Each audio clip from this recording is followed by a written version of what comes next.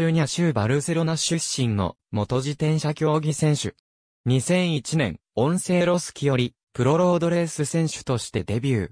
2003年、パリニースで、初のワールドツアー優勝。同年、ブエルタ・エスパーニャで、グランツール1勝目を挙げる。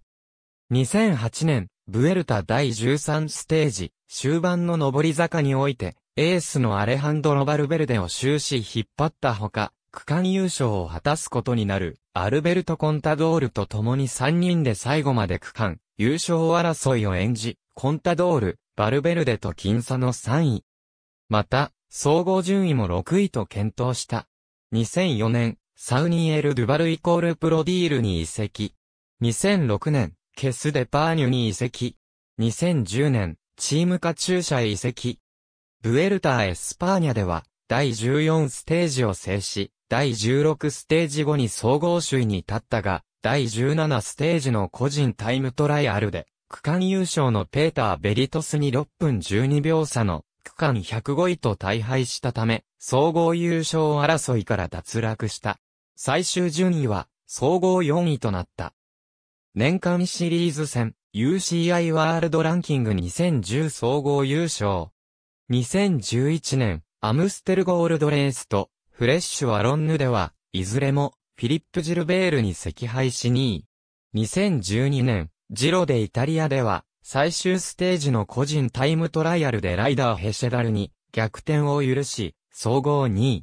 同年、ブエルタ・エスパーニャでは、第4第16ステージまで総合首位だったが、第17ステージにおいて陥落。さらにいずれも首位だったポイント賞、複合賞の両部門でも、最終ステージで、アレハンドロ・バルベルデにいずれも逆転され、総合3位。2016年、参加中で、総合5位につけるツールドフランスの休息日1日目、記者会見で、今シーズン限りでの現役引退を発表したが、同年10月バーレーンメリダに加入し、2017年シーズンも現役選手として走ることを表明し、引退を撤回した。が、再び引退を表明し、同年限りで引退した。選手生活をクリーンで貫いてきた数少ない選手でもあり、年間ランキング1位にも3度と常に上位の成績を残す安定感のあるライダーである。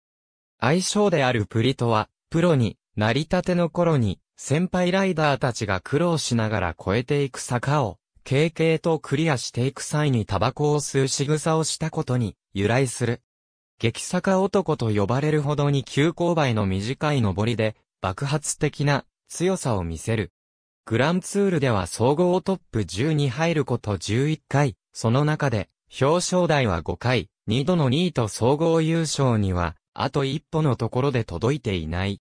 37歳ロドリゲスが今季で引退、最後のツールで、総合表彰台に登りたい、ホアキン・ロドリゲス引退撤回。ホアキンが、引退発表。男の引き際の美学。ありがとうございます。